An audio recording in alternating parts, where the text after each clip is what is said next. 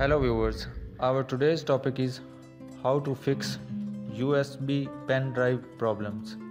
Every time when you plugged in USB pen drive, this message is shown. To fix this problem, first of all, go to this PC or my computer. Here confirm the letter of your removable drive. Now go to start menu and type CMD and press enter. Here right click on command prompt and select run as administrator.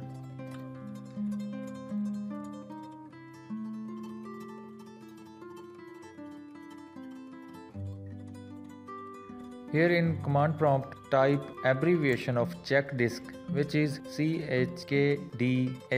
CHKDSK followed by your removable drive letter. In my case it is D. Put colon in the end and press enter. It will start searching errors on your selected drive. It is showing that the scan has been completed and there is no error found. In case of errors found on this disk type this command to remove these errors. Abbreviation of check disk followed by forward slash F space drive letter D followed by colon and press enter. It will remove all errors found on your selected drive. It will take some time to complete.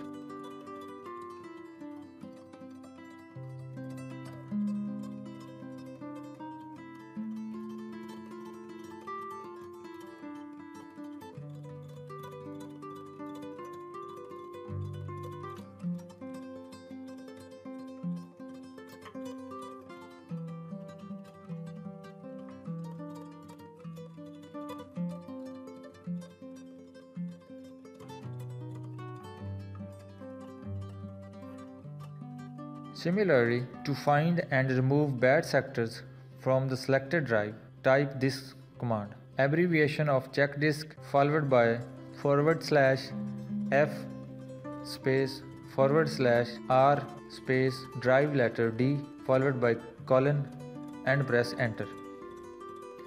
This will first scan for bad sectors on selected drive and then remove them from the disk.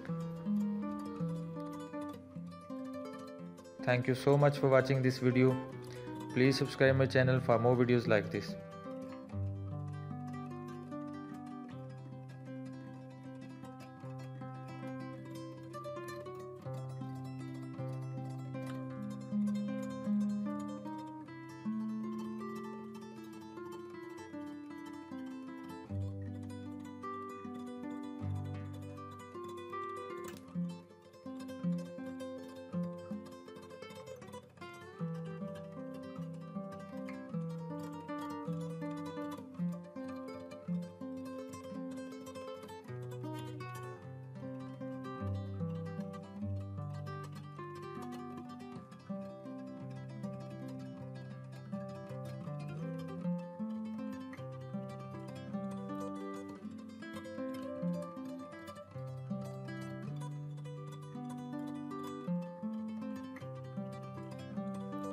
After completed, I have unplugged my pen drive and then plugged in.